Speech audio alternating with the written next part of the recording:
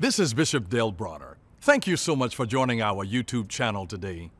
If this is a blessing to you, I want to encourage you to like it and then click the subscribe button and then turn on notification. Hit that little notification bell so that you never ever miss another one of our videos.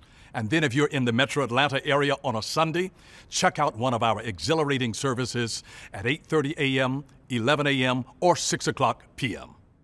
Our text today comes from St. John chapter 16, verse 16 through 23. Notice these words of Jesus. In a little while you won't see me anymore, but a little while after that you will see me again.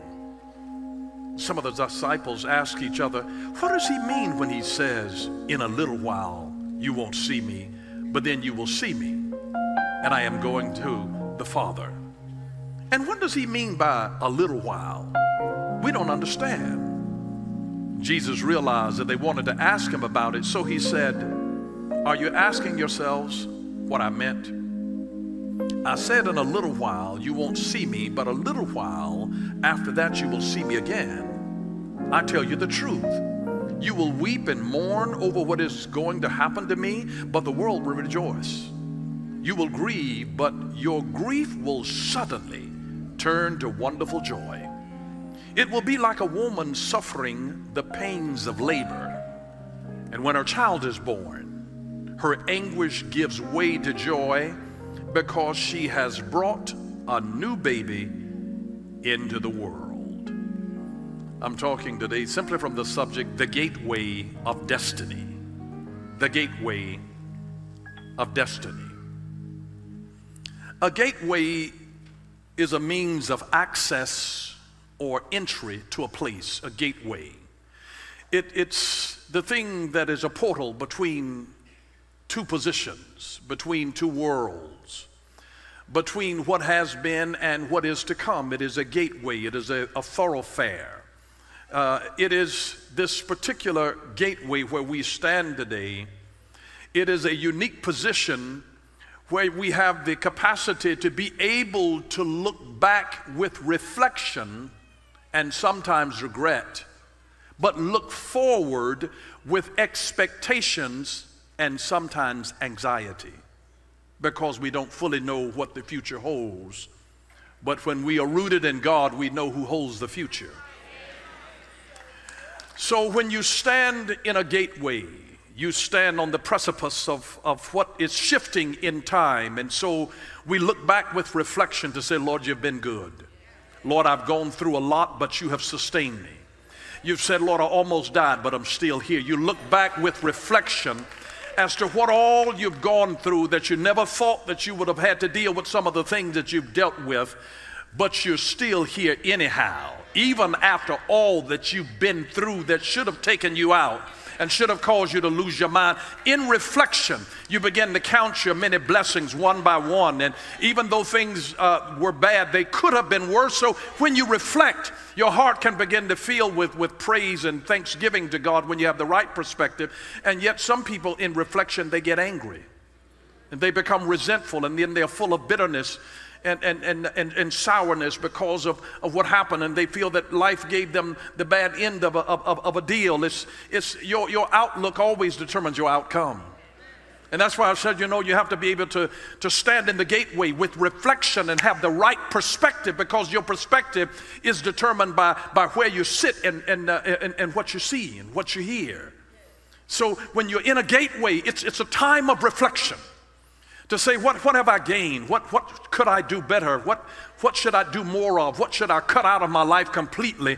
What should I do differently from this place? It's a time of reflection. It is the gateway to destiny. We're talking about the gateway to destiny. You ought to spend some time in this gateway in reflection to say, Lord, what have I learned by where I have been? By the things that I've, I've done on my, my journey.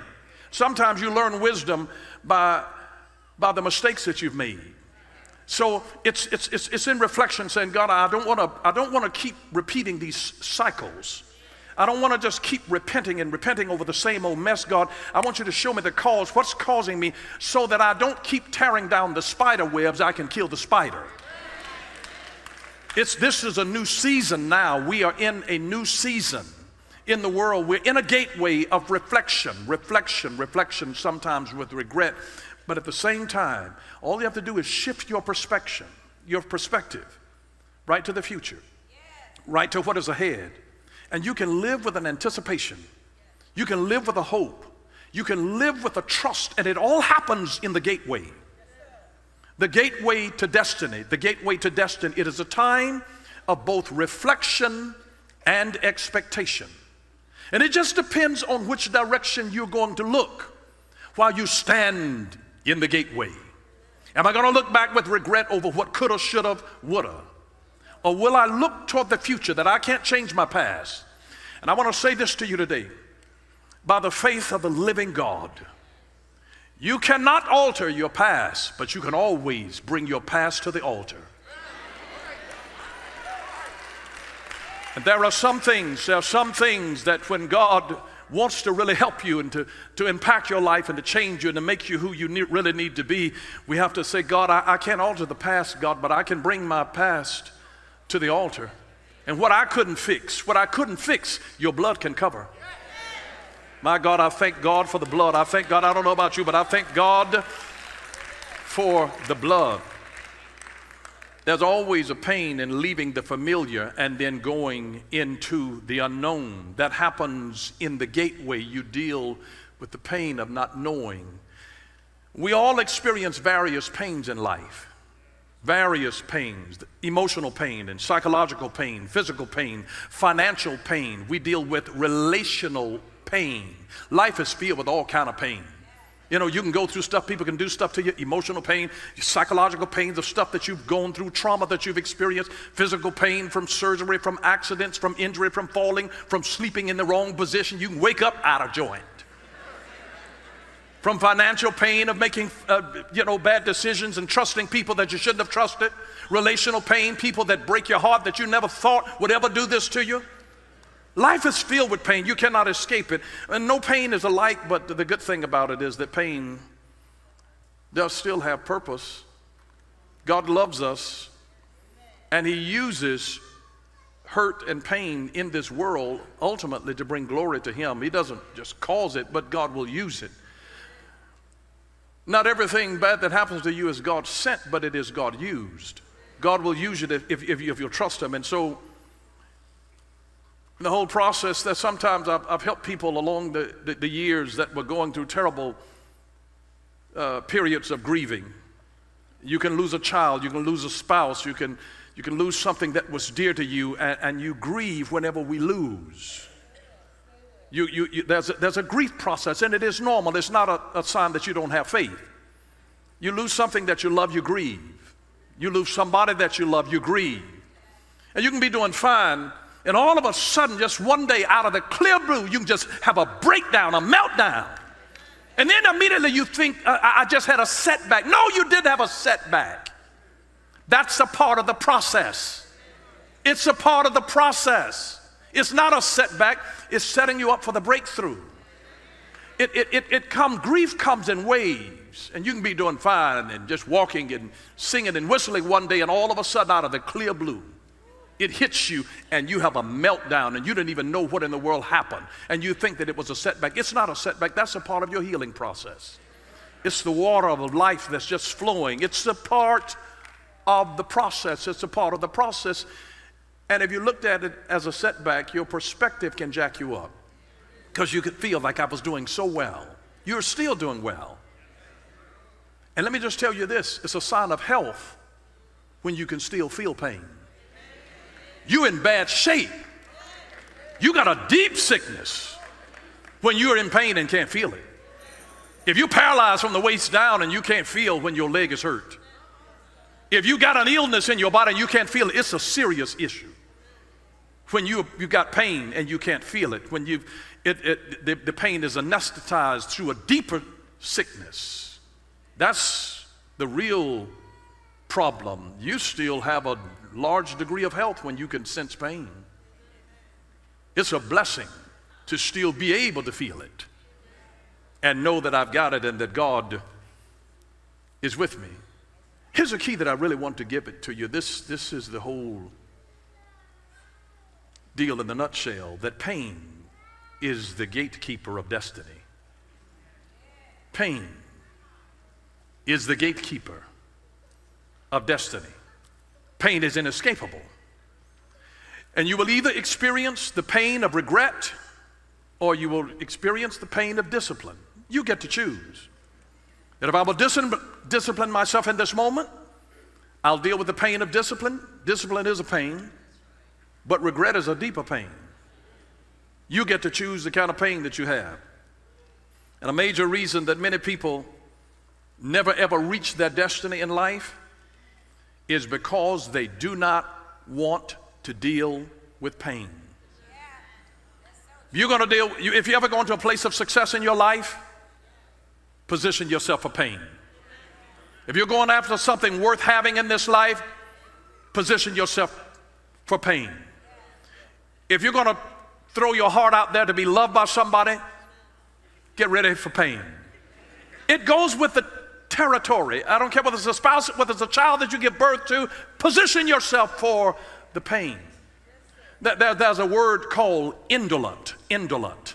The word indolent means lazy.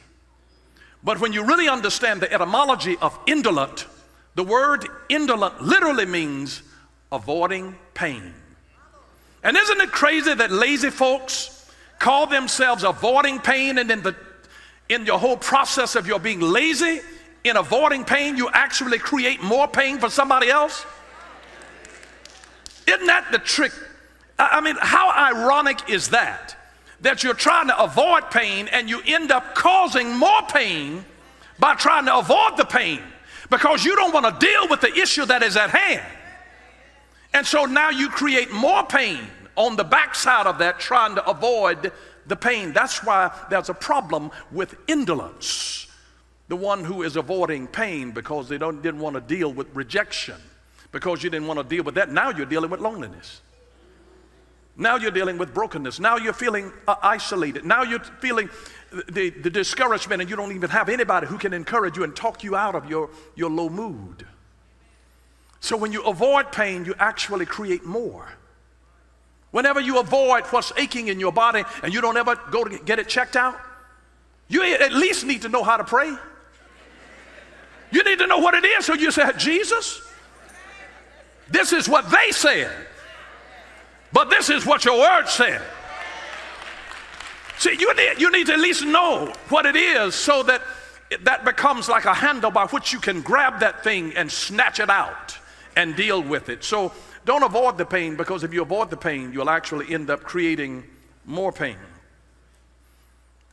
I don't see pain as a terrible thing or as a negative thing. Here's my personal philosophy is that every adversity that comes into your life is a bridge carrying you to another place of victory. Every adversity that comes into your life is a bridge carrying you to another place of victory. Touch somebody, tell them I'm on my way somewhere. I'm on my way somewhere. I'm on my way somewhere. Adversity, pain, it's a bridge carrying you to another place of victory. If you go from being a weak, pusillanimous person to becoming a person of strength, you're going to have to go through the, the discomfort of, of discipline, of getting up when you don't feel like getting up, going when you don't feel like going, studying when you don't feel like studying, preparing when you don't feel like preparing, practicing when you don't feel like practicing. You go through the adversity or the pain and the discomfort of that, but it's a bridge carrying you to another place of victory. It is that action that is the bridge that goes from dream to reality. You have to cross the bridge. Pain is the gateway.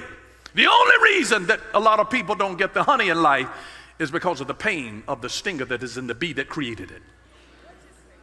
And if you focus on the, on the stinger in the bee, it'll keep you away from the honey. But if you ever get hungry enough, I will risk my arm being stung to reach into the beehive and dip some honey off of the honeycomb. If you ever get hungry enough, I'm just here to remind you, I'm just here to remind you today that when the pain, when the pain of remaining the same becomes greater than the pain of changing, then I'll change. When you get sick and tired of being sick and tired, pain, it is the gateway of destiny.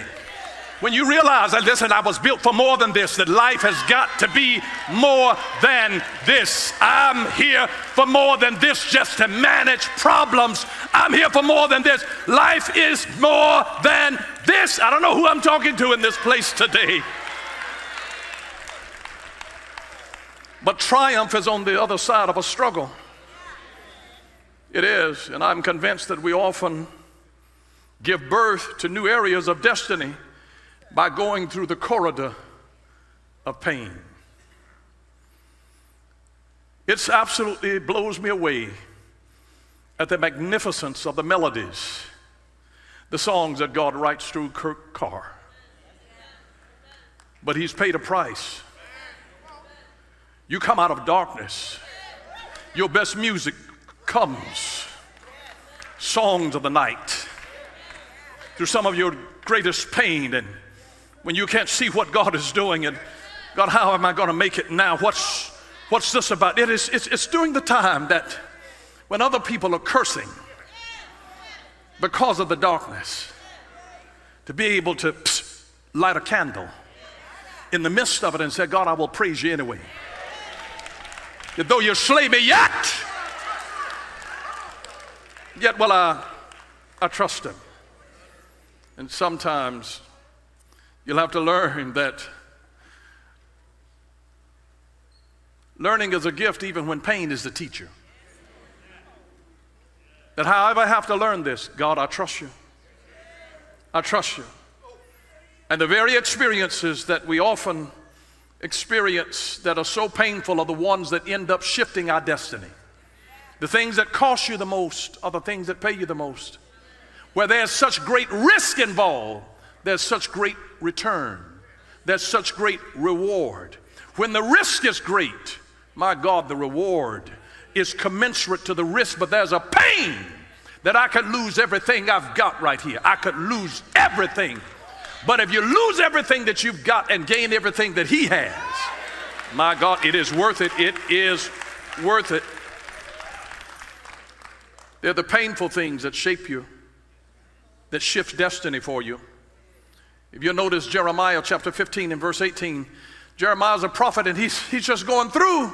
You think that just because you administer that you're exempt from pain? You better think again. Here's Jeremiah the prophet that's saying, Why is my pain perpetual and my wound incurable, which refuses to be healed? He said, Lord, I, I'm dealing with something here. Lord, I've asked you about this. Why? Why have you not dealt with this and taken it away? It's an easy thing for you. Why, God? Is my pain perpetual? Why are you leaving something in my life that is an irritant? Now, if the prophet had to deal with that, who do you think you are? I just came to shift your perspective to help you to understand God is not your enemy. And the pain does not mean that he hates you. Maybe he's trying to birth something through you that'll bring you joy. It doesn't look like joy in the beginning. And have you ever been to that place where you wondered why the road that you were on was so hard? In the struggle of your journey, the elements are there to build strength in you, to help you to become who you're destined to be. Why else would a caterpillar be encapsulated in a cocoon and then have to fight its way out? But it is after it has created the environment by what came out of its mouth. And that's why what we did here today, by what came out of our mouth, praise and worship, creates an atmosphere of praise and glory. And glory is the atmosphere for miracles. And the caterpillar out of its mouth creates the cocoon that encapsulates it. But then it has to break out of the very cocoon that it created with its own mouth. And it is through pushing and stretching and pressing that breaks it out, that is actually strengthening the capillaries and the veins in the wings of the butterfly. And if it did not go through the struggle to get out, it wouldn't have the strength to fly. God knows what He's doing. It's the pain of just trying to get free to where you can flap your wings that are building the strength for your wings to even be able to fly. The pain and the discomfort of a pruning when God's trying to make you better. There's a pruning that God takes you through, and it's not to hurt you, it's not to set you back, it's actually to make you more productive. Notice St. John 15, verse 1 and 2. Jesus said, I'm the true vine, and my Father is the gardener. Every branch in me that does not produce fruit, he removes, and he prunes every branch that produces fruit. You wonder, Lord, why am I doing this? And then it's getting worse for me every branch that produces fruit so that it will produce more fruit. He prunes every branch that produces fruit. Why? So that it will produce more fruit. He cuts you back, not to reduce you, but to make you more productive. And it is the pruning, it's the storms, they are the sorrows that reveal to us what kind of condition that we're in. You know that we are the trees of the Lord, designed to lift our hands in praise and glory to Him. And trees that are in good conditions don't topple in a storm. They are the trees that have been compromised. And they've got death. We had a, an, an, issue with a tree in our yard, and, and, and, an arborist came, and we had him to take a look at it, and, and he began to point out things that I never knew. He said, You see these ants here, they going up and down. He says, a sign that there's death in the tree. And then he showed us, he says, take a look at some of these mushrooms that are around here that are growing here. He says it means that the tree is dead. I said, but there's blooming here. Isn't it amazing how you can be producing signs of life and yet have death? Still circulating, and, and, the man, and an arborist had to, to let me know that though there was greenery on the tree and leaves on the tree, but death was in the trunk. And how, how is it? This, this, this incredible dichotomy that we can see this, this thing that creates a conundrum in our own minds that I'm alive, but I've got death working in me at the same time. And yet, God still is able to move in the midst of all of that. And it's those trees that have eroded root systems that when the storm comes, they're the ones that don't survive. They're the ones that, that topple over. And, and little did we know how unhealthy that a lot of us as trees were until something like a pandemic hits. And so many are wiped out. It, it was a sign of the condition of the trees. That they looked fine. We, you never knew by looking at their leaves what death was breathing in them. And that's why you have to be thankful to God because just because you're blooming does not mean you're not dying. But we have to trust Him. We have to trust Him. And so the response in the storm, it reveals the kind of foundation really upon which we are built. Isaiah chapter 43, notice verse 2. He's letting us know in the world you're going to have some trouble and we're going to get hurt. He says that when you, when you go, when you go through the, the deep waters. Not if, when you go through deep waters. He says, I'll be with you. When you go through the rivers of difficulty, you will not drown. When you walk through the fire of oppression, you will not be burned up and the flames will not consume you. When, when, when, when, not if, when you go. So don't think it's strange. He's already telling you, listen, water is going to come. You, you, are going to go through rivers. You're going to deal with fire. You're going to get in some hot situation. Not if, of when. When the fire of oppression, it will, you will not be burned up if you keep your eyes on him. The flames will not consume you. It should have destroyed you, but you'll be able to be kept and you won't even understand why you're being kept. This is a prophetic promise of God. Problems are normal to life, and He's letting us know you're going to deal with problems and you're going to deal with pain. They're normal to life. I love this statement by Brianna West, Wiest. She said that sometimes you get what you want, and other times you get a lesson in patience, empathy, compassion, faith, clarity, resilience, humility, and life. And she says, either way, you win. Sometimes you get what you want. Other times you get a lesson in patience, empathy, compassion, faith, clarity, resilience, humility, and life. But either way, you win. You win some and you learn some. You never lose unless you fail to learn. Notice what 1 Peter reminds us about 1 Peter chapter 4 verse 12 and 13. Dear friends, dear friends, brothers and sisters, don't be surprised at the fiery trials that you're going through as if some strange thing were happening. Instead, be very glad, for these trials make you partners with Christ in his suffering, so that you will have the wonderful joy of seeing his glory when it is revealed to all the world. He says they, they, they, they don't see all the pain that you go through, but when God brings you out of this, He's going to reveal His glory.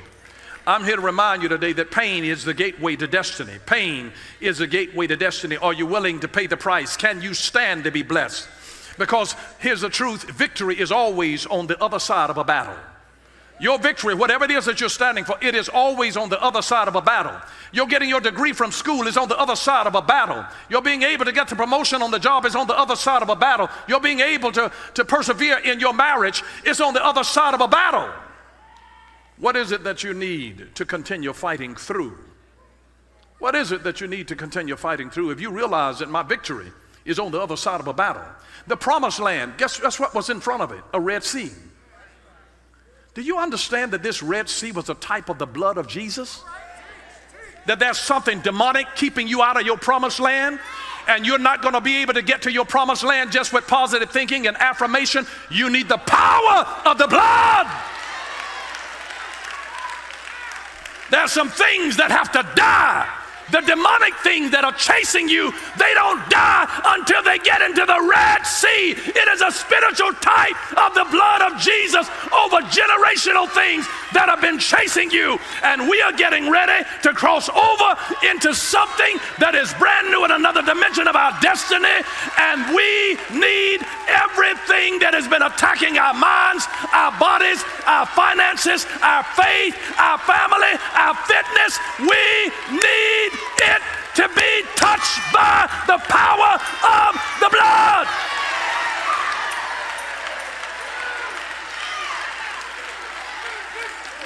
There is still wonder working power Shikoboba Shikiata in the blood.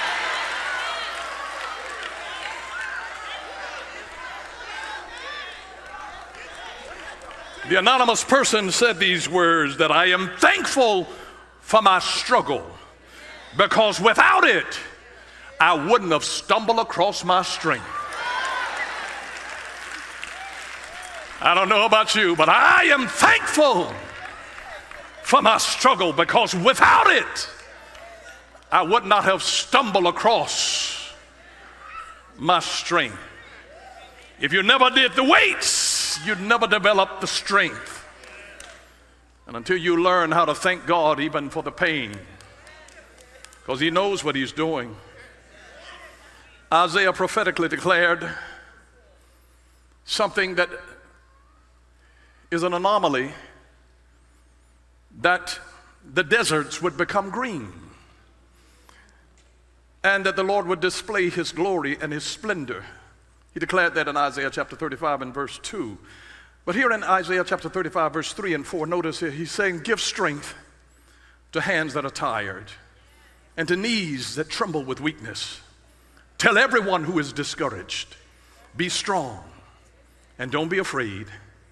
God is coming to your rescue. God is coming to your rescue. God is coming to your rescue, coming to punish your enemies. I, I, I don't know who this is for, but tell everyone who is discouraged be strong, do not be afraid. God is coming. He's coming to your rescue, coming to punish your enemies. And although we experience problems in this world, here is God's promise to us. He gives us a promise, even though you you will deal with pain. Pain is the gateway to destiny. You got to pay a price. Not everybody wants to pay that price of going into business, of stepping out in faith and actualizing your dream, of dealing with cantankerous people. It's a price, it's a price. There's a price to pay whenever you're going to be a leader. It's a price to pay whenever you're going to be a head of household. There's a price to pay whenever you're going to be a husband. There's a price to pay whenever you're going to be a father and a mother. There's a price to pay. There's a price to pay. And you get hurt by people.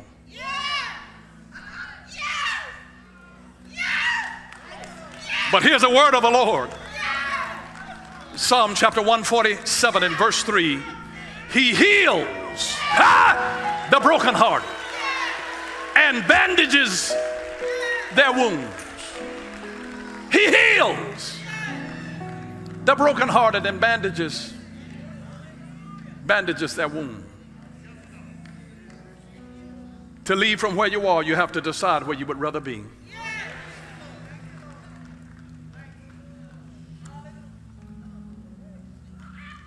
Everybody wants an easy way.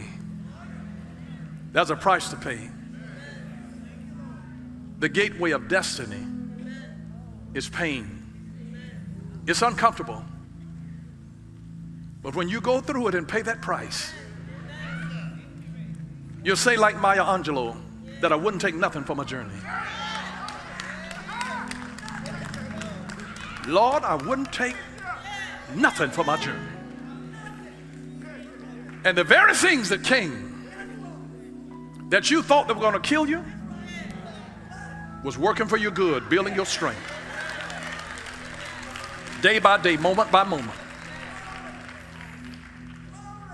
If your destiny is going to be shifted, if you're going to shift your your physique, pain. I mean, when you leave out some days, it's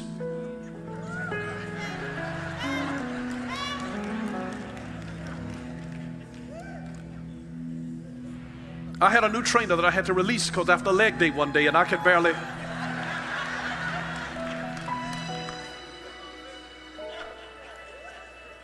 But if you stand, you realize that something is being broken down while something else is being built up. And we're right at the gateway of destiny. And in that gateway, there's there's Egypt that we could always go back to. But there's a promised land of something that's bigger and better. He's given us a New Testament, a better covenant established upon better promises. I don't know about you, but I'm so thankful that we don't have to go out and get bulls and sheep and turtle doves and make sacrifices and a blood slaughter. Jesus, who became that one sacrificial, substitutionary, mediatorial sacrifice for us on the cross, made himself of no reputation, took our sins on him, and died for us, changed places with us. I really want you to understand what Jesus did. Jesus came to the crime scene. Your fingerprints were all over the, the scene of the crime. And, and, and, and all that Jesus did, he, he came to the scene and cleared all of your fingerprints off and put his there to incriminate himself. He changed place with you. He changed place with you. And I just want to encourage you that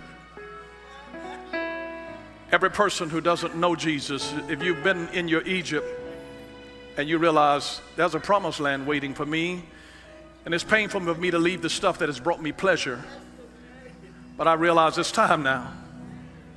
And every time I feel good, I'm making God feel bad.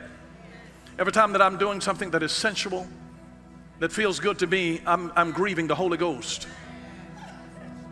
And Jesus, Lord, I'm sorry for hurting you my pain hurt you. And I don't want you to be in pain in vain. Don't let this pain be in vain. But it's time for you to get out of your pain now by making a painful decision to leave from where you've been. I know some of you have done some dirty, low down things that you don't even have to tell anybody. I'm not asking you to tell me. You don't have to tell me. What I'm telling you today is that the very altar, the, the very past that you couldn't alter, now bring that past to the altar. We hope that you enjoyed that message. Don't forget to like and subscribe and then press the notification bell so that you don't miss another one of our videos. And if you want to partner with us, click the Give Now button. Thank you for what you do.